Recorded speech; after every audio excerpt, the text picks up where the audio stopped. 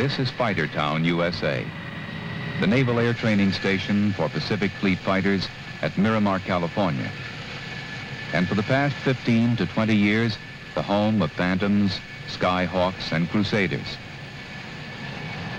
In this mixed population, some of which are still in the front line in the fleet defense, you can't find one aircraft that was not designed in the 50s.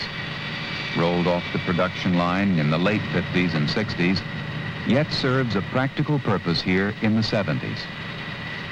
There's something to be said for this kind of longevity, about American know-how, and about men trained to fly in combat.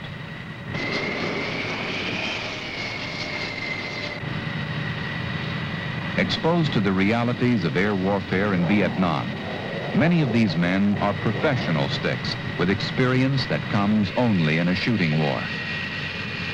Now they're back where it all began, to get wrung out in a fighter that's unlike anything they've ever flown before.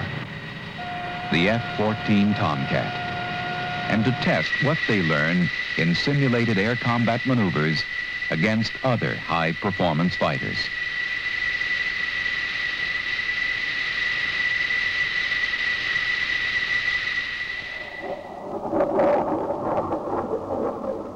Responding directly to combat lessons learned in Southeast Asia, the F-14 was designed to counter the growing threat of improved enemy aircraft and missiles launched from sea and air. It combines long-range fleet defense with the close-in maneuverability of dogfighting without compromising basic mission performance. The average pilot weaned on F-4s and F-5s is not easily convinced, however, that the F-14 can really do all that the tactics syllabus says.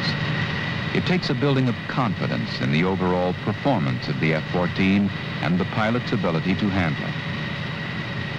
To begin with, there's getting used to a cockpit with lots of elbow room for a change.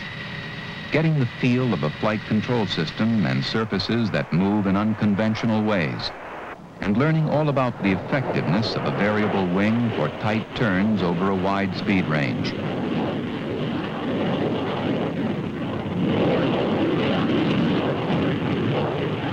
Added to this is the AWG-9 weapon control system with long-range radar for early target detection, acquisition, and tracking beyond 100 miles, allowing the F-14 pilot to get the jump on the other guy or to avoid engagement.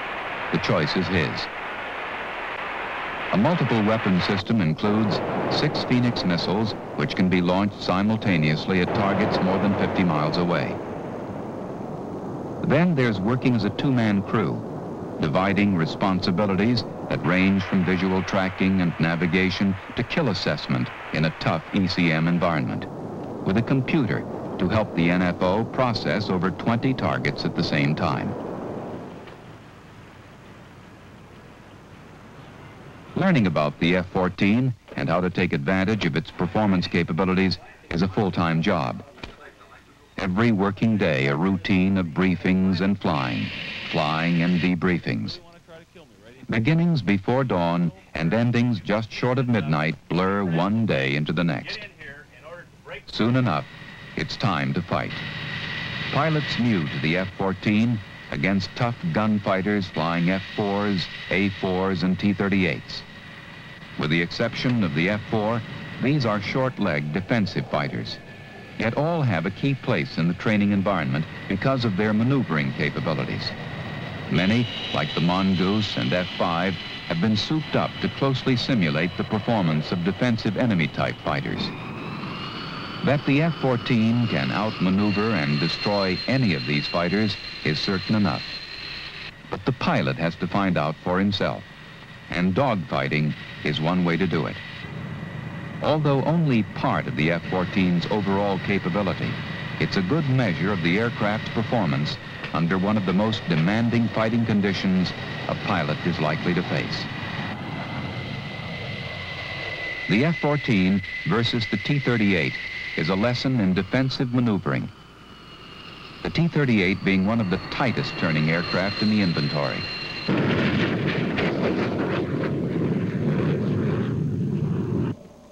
The test is a critical one. The F-14 in the most vulnerable position of all. His adversary directly behind him in shooting position. Once the T-38 starts to make the attack on you, the first thing you have to do is negate it. And the best way to do that is to break into him. You've got G available, so start your break. Okay, now we want to go from this defensive position into a neutral and an offensive position. The way we can do this with the F-14 is we can pick its nose up. So we're sitting there, as we start to have the overshoot and going in here, we'll flop the wings level and we'll take the airplane up into the vertical. The NFO instructor, who is riding in the back seat of the F-14 during this simulated air battle, is a busy guy. He conducts some of the briefings, sets up the rules of engagement, and later he'll help in the debriefing. Knowing the F-14 and the T-38 like the back of his hand, he'll recognize immediately when the trainee should make his move, when he should get out of the way. And if he hesitates for even a second, he'll know that too. At that point, I'll be calling for you to level your wings to get them level prior to pulling the aircraft up into vertical. You want to make sure you get in pure vertical. If necessary, look inside. At that point, I will be setting my eyes on the T-38 during the whole maneuver, so you don't need to worry too much about keeping silent.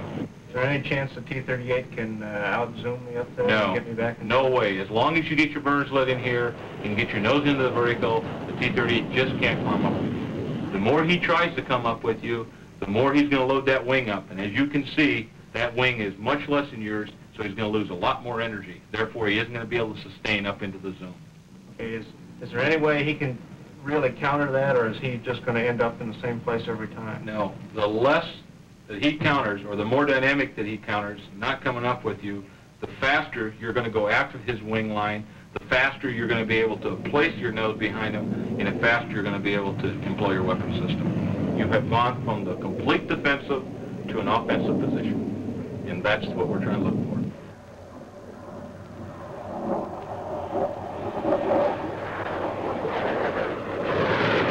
From the classroom to the real world of air combat maneuvering, and back to the classroom, where the instructor who flew the T-38 conducts the debriefing. I was sitting there at 15,000 feet, and you were coming around about 1,000 feet lower than that on my port side. As you came around, as most times when you pass a bogey like this, uh, with an airplane that's superior turning capability that you've got compared to the T-38, will always cut across your tail, trying to keep you in sight, making you turn the long way, this way. And then you started your nose pitch up and went a long way around. Now, what happened there is uh, when you went across my tail, I, I lost sight of you. Denny had sight of you, and uh, I That's- spent quite, quite a bit of time, and I think I arced probably up there when I was trying Yeah, to that's just about what it looked like, because as you came by down low, with your nose back down, re-accelerating, you had a typically good early turn opportunity that the F-14 has. If you had the opportunity to pick me up immediately out of that turn, you could gain a lot of angles. I was spending maybe too much time looking for you and not enough time driving the airplane. That's a possibility. You can definitely see the responsibility changes here as you pass. Communicate in the cockpit and let Denny pick up the padlock for you as you come back over the top until you can get your head spun around and get back inside of that bogey as he comes down low. I, re- I really found out because F-14's turn capability, we stayed pretty close, and that's not that much problem. I thought it'd be a big problem, but it wasn't. Encouraged by their success against the nimble T-38, F-14 flight crews are no less attentive in preparing for their next battle against the A-4, another good turning low-wing loaded fighter. In this engagement, the tactics instructor will also double as pilot for the A-4. Again, the F-14 is on the defensive, the A-4 rolling from a high perch into a good gun position. Once I start to make my attack, you're going to have to counter that. And the way you do that is you start your nose up. Get yourself going right up into the vertical, making sure you get your afterburners lit, and start going up. Lyle's going to coach you into where I am. Once you're up in here, start to do your displacement roll towards my 6 o'clock.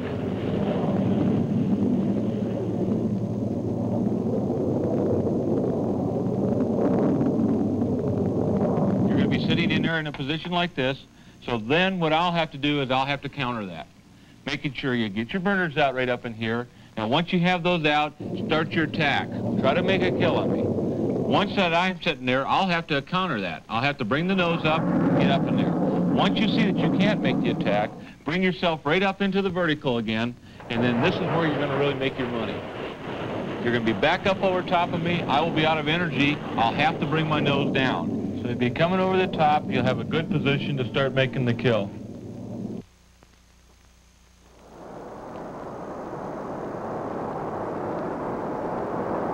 After the engagement, both crews return to the base for debriefing. At this stage, debriefing is often a matter of reminding F-14 pilots of the extended capabilities of their aircraft to instill more confidence that you can push it beyond the limits of other fighters and that it will respond. First thing I saw is as we started the maneuver, I came up over the top of you like this.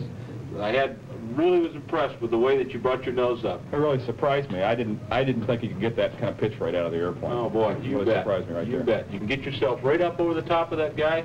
Once you're up in here, now you're in a position where I'm starting downhill, you can start to attack. And then I started to come back on up in there. You saw that? You came off in a nice little lag position like that. I kind of felt you may have had a little uh, coaching from the back seat or something there. Yeah, I could, feel it coming off. I saw you're in a position where I said, well, I could almost maybe try to reverse, but no, I could see you started back on up, and then it's just straight stand by to look in my mirrors. I had you picked up, you came right back down into the gun kill, and that's the name of the game. I felt like uh, the trouble, if I had troubles, was early in the early in the hop where I was I was uh, getting a little bit greedy, putting the nose on you when I was still defensive. You end up getting here where you get your burners lit, and I think everybody gets so darn awed with the way this thing will start so- soaring that they don't get them out by the time they're starting to come back down, and it causes you to start to do your overshoot. Something about the way you saw it, Hope? Our only real problem, I thought, Keith, was after we uh, came out to the outside, Muller started his nose up and we got on our back up here on top, still in zone five. I thought had you gotten the power off a little bit sooner, we wouldn't have picked up so many knots coming back downhill. Uh, this goes back to just what Mahler said in the brief. I didn't come out of zone five, come over the top. Consequently, I got fast because I'm not I'm not realizing how fast this airplane accelerates. That's exactly what we're talking about. You handle everything right up through here. You're getting up on top, just like we're looking for. Back over the top of there. But right in here, you just got to believe it. You got to. come. Two down and one to go. Opposition for the F-14 today is the F-4 Phantom. Both are high thrust-to-weight fighters. Both have a two-man crew. Unlike the F-14, however, the Phantom has to fight at high speed to be effective, and thus is vulnerable to the tight-turning Tomcat. Both will use radar to find one another, then engage, starting from neutral, head on. The F-14 is the aggressor. Now we sit there and start up into the vertical. Now he's going to make damn sure he's going to come up here with you. If he just sits there, rolls his wings down, and starts running on you or anything like that, straight lateral little turn, go on down and chase him. You'll have the energy to go after him. You'll be ready to go. If he picks his nose up, start smiling. You've got a good day ahead of you. How much of its maneuvering potential the pilot extracts from his F-14 will determine his success in this engagement. The trick is to keep his head out of the cockpit, to reduce his reaction time, to fly the airplane instead of watching over it, to spend less time with the machine, more time with the fight outside. You can be sure the instructor pilot in the F-4 knows what his adversary can do and how he's likely to do it. His job is to stay alive. Having heard it in the classroom, of course, is a lot different from being there. And after you've been there, there's a lot to talk about. Okay, Walt, this is where we picked him up, climbed up to his altitude, closed in, passed him down our left side, just like we briefed, and like we briefed, he zoomed. He peaked out about uh, about 30,000 feet, and we went up to about 28. But he was out of airspeed, and just like you said, when or just like we said, when we got his nose coming down predictable, we just put it right on him. I could not believe how little maneuverability he had left. You know, you could see the airplane load back up, and you could see him start to get a little bit desperate. He just had nothing left. We just put the nose on him and close. You know, I thought that uh, the whole engagement was just pretty much cut and dried. It's like Mike drew it out in the blackboard Yeah, it before we sure went out is. there.